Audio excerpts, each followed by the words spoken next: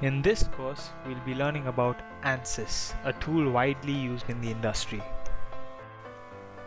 This course features 30 hours of classroom sessions, 100 hours of practical sessions, topic-wise online tests, industry-oriented project of 30 hours, and special sessions for interview preparations.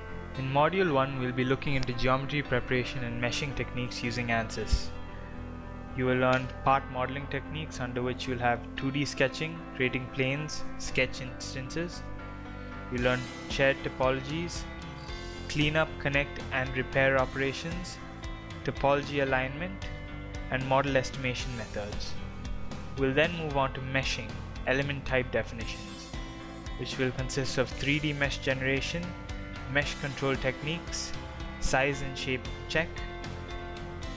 We'll have workflow in CAE simulations, and at the end of the course you'll have assignments and evaluations on geometry and meshing.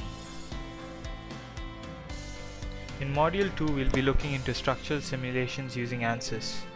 We'll learn structural analysis of aero and automotive systems, industrial approach to design and validation, introduction to FEA, introduction to strength of materials, linear static analysis, both theory and practice, under which we will learn design validation of drive shaft of an LCV truck using structural analysis, failure mode prediction of a pressure vessel using FE analysis with analytical correlation, estimation of load carrying capacity of a lower control arm of a heavy truck using simulations.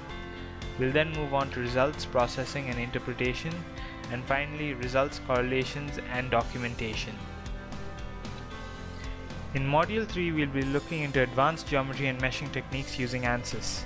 We will learn 2D meshing techniques for thin parts under which you will have mid-surface extraction and meshing of plastic components, mid-surface extraction and meshing of BIW sheet metal components like chassis etc.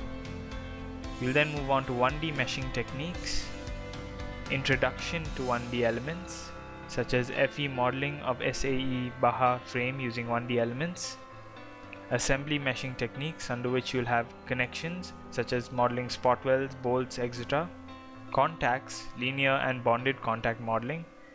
FE modeling of a shaft using text files.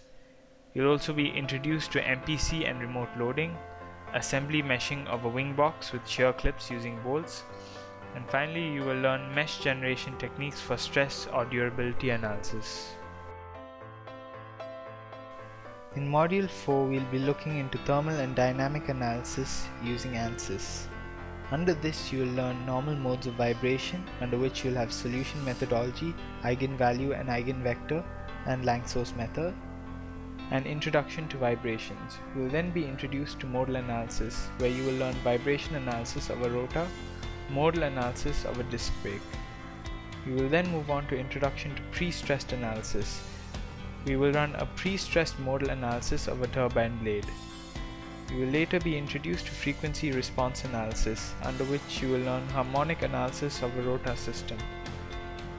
Finally, you will have introduction to thermal analysis, under which you will have thermal analysis, conduction heat, and transfer in a friction ring.